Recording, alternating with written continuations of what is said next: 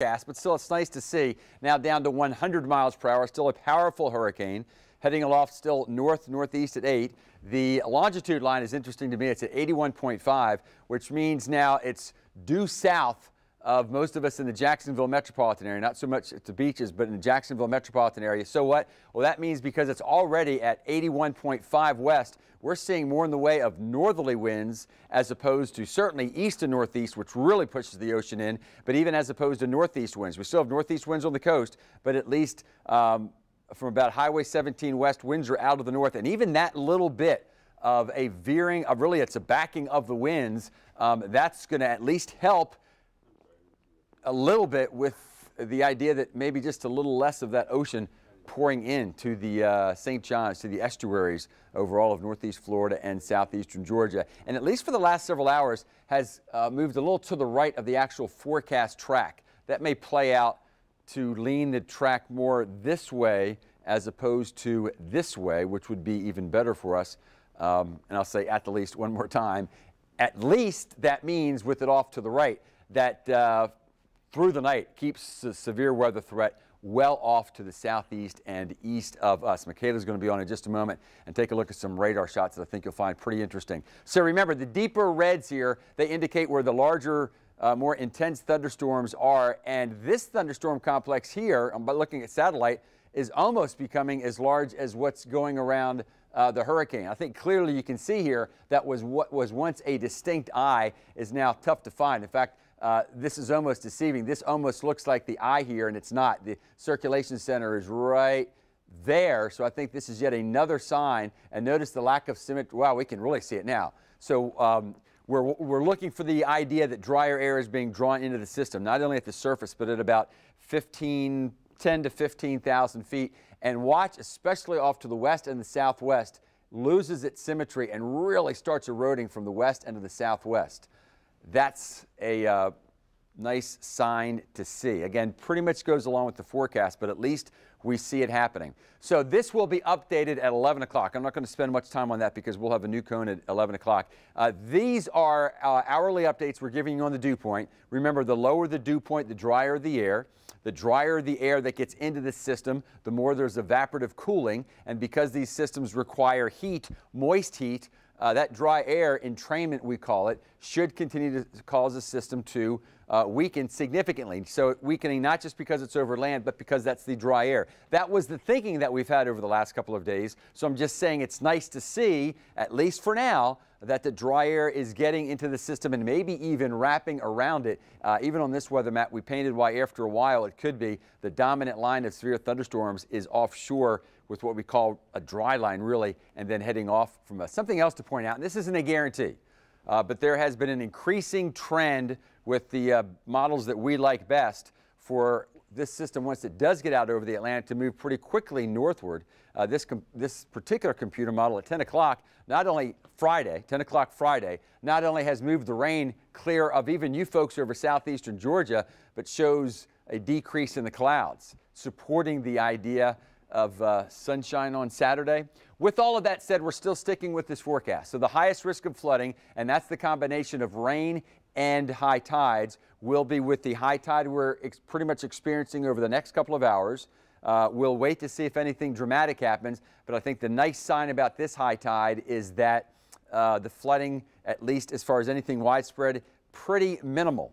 And because this is an accumulative fact or scenario that's developing, then that sets us up a little better for the second high tide Thursday afternoon, and then what we think will be the final high tide of concern early Friday morning. In fact, that part of concern will actually end by 7 a.m. Friday. Rainfall still looking for as an average 6 to 14 inches. Maybe, just maybe, more of us will average closer to that lower end, which is still a lot of rain versus the higher end. Not a done deal, uh, but just letting you know what the trends have been over the last couple of hours. Still sticking with the idea that overall the water levels will rise about four feet uh, we'll have variables around the area. Just generally speaking, over the next several days, heavy rain, high tides, Gusty northeast winds occasionally up to near 60. That's going to cause at the least widespread street flooding near the time of high tide. We'll keep you updated on that. We're going to break it down for you county by county. Some of the gustiest winds out around the beaches easily see some gusts to 65. But then on Friday now, we're looking for the rain and wind to decrease, especially as we go through the day from the south to the north. And Saturday, just a fresh breeze.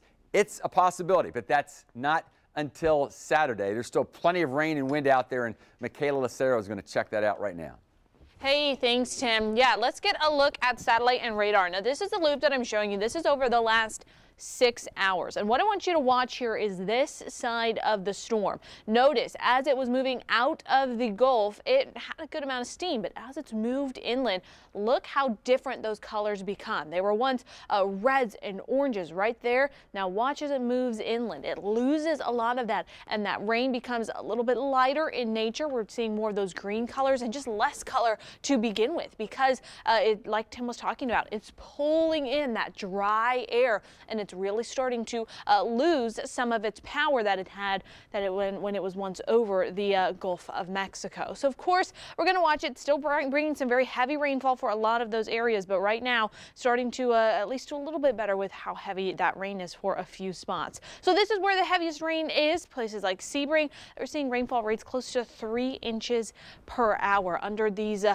pockets here where you see those deep red colors. As we put a track on this, you can see very slow moving. It's only moving about eight miles an hour. Now let's talk big picture here.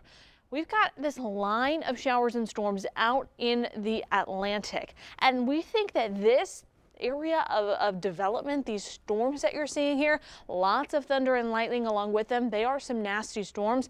It's not looking like those are going to move inland. It does look like those are going to stay off the coast and we're just going to continue with the lighter showers, but the significant storms, those are going to stay off in the Atlantic along this line right here. And we're going to continue to see this storm weaken as that dry air that we've been telling you about starts to pull in to the uh, western side of that storm system. So there are those uh, thunderstorms lining up out along uh, the Atlantic there. And of course, we're going to watch those for you, but they're expected to continue to head off towards the north and uh, not necessarily move into our area. This is what our area looks like at the moment.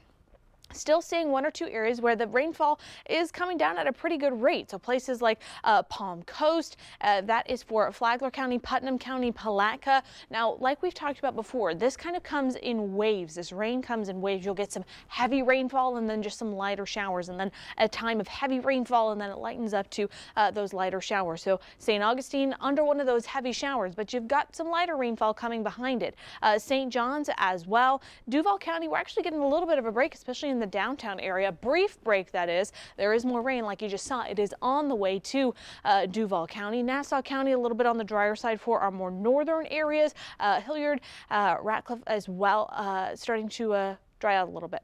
All right, far western counties, not a whole lot of rain going on out there, and same story for many of our areas in southeast Georgia. Mostly cloudy, occasional gusty winds, but not a lot of rainfall there. As far as our rainfall total, St. Augustine now has surpassed an inch and a half, 1.6 inches of accumulation there, about a half inch at NAS Jax, quarter inch in Jacksonville, and uh, Palatka over an inch of rain there. Let's go through futurecast. Here is what we're expecting for the rest of the night tonight. Heavy rainfall continues to move through through southern counties. You're going to get the heaviest rainfall from this system. All of us, though, dealing with gusty winds. Even areas in southeast Georgia that aren't necessarily getting the rain, you're definitely going to still be getting the wind.